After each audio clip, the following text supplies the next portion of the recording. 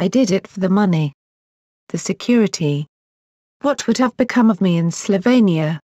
The only property in my name is an apartment in Trump Tower. I don't really care. Do you?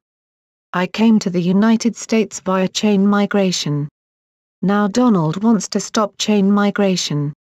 I really have two little boys. My son and Donald.